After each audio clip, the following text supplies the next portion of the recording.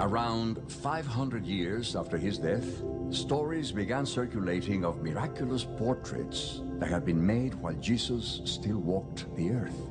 The most revered of these were images said to have come into being miraculously, not made by human hands.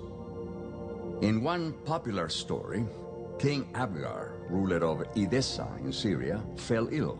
He sent a messenger to bring the miracle-working Jesus to his kingdom to cure him.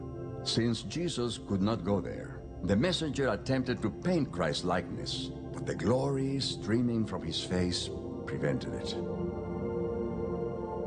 So Christ took a cloth and pressed it to his face. His countenance remained. In Greek, the cloth became known as a mandylion. When King Abgar looked upon the desired image, he was healed and became a believer.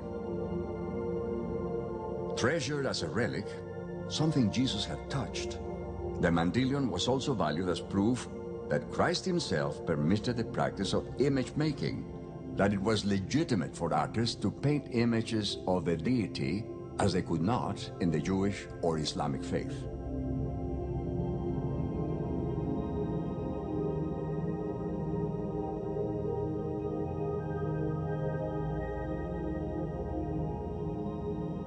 The Greeks brought the mandylion to the imperial capital, Constantinople, in the 10th century, and housed it in a chapel in the imperial palace, where it became the most revered relic for the next 250 years.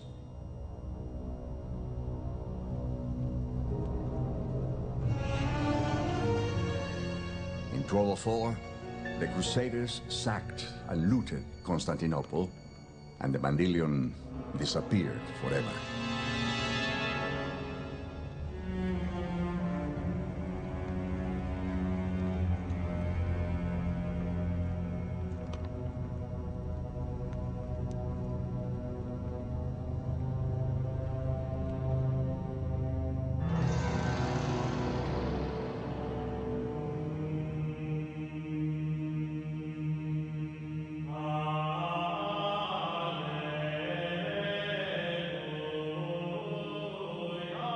But copies of it and copies of copies abounded, each thought to carry some part of the original supernatural power.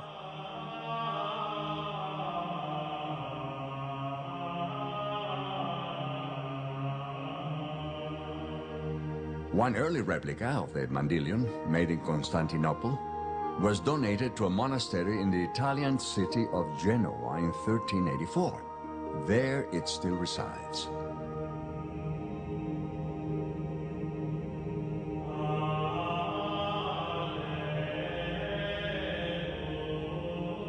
Protected by a silver frame, the ghostly image was understood to be a true likeness of the Savior, and it affected representations of Christ throughout the Christian world.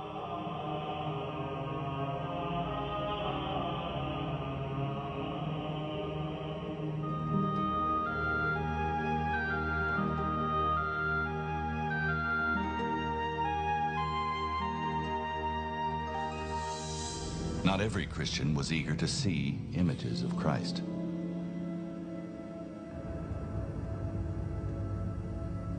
From early Christian times, voices were raised against making and venerating such images.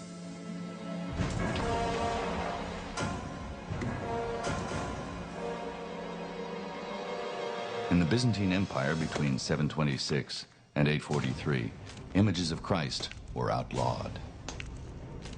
One faction within the Byzantine church banned all further use of icons on pain of death.